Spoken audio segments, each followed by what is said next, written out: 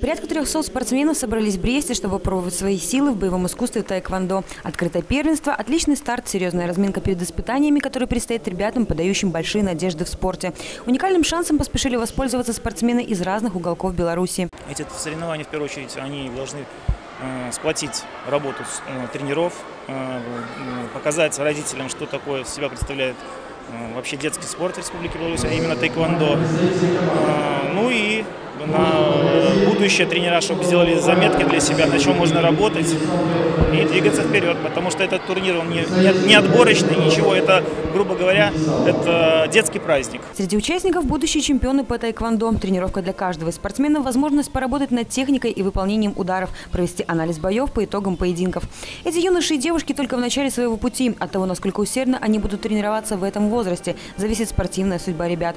В таком виде боевых искусств, как тайквондо, успех зависит от нескольких факторов – скорости, ловкости, силы и, конечно, физических возможностей. Работать в каждом из направлений – задача номер один для молодых бойцов. Я его выбрал, потому что ну, самооборона. Буду сам, смогу сам себя защищать. Потому что в жизни пригодится. Да. Открытое первенство по тайквондо послужило отличной тренировкой для всех участников. Успехи, равно как и поражения, на нынешних состязаниях стали стимулом для работы над собой.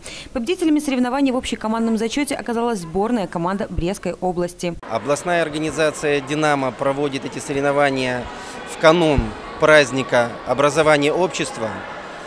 Хотелось бы в этот день поздравить от лица президиума областной организации «Динамо» всех сотрудников наших правоохранительных ведомств, членов БФСО «Динамо».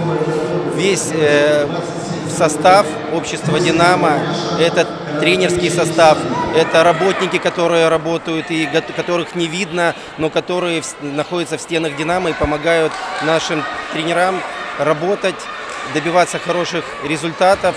Хотелось бы поздравить наших спортсменов, наших деток – ну а самое главное поздравить тех спортсменов, тех динамовских спортсменов, которые э, буквально через 100 дней будут защищать э, честь нашей Родине на Олимпиаде в Рио-де-Жанейро. София Бережная, Кирилл Липовик, Антон Луговкин, телекомпания Бук ТВ.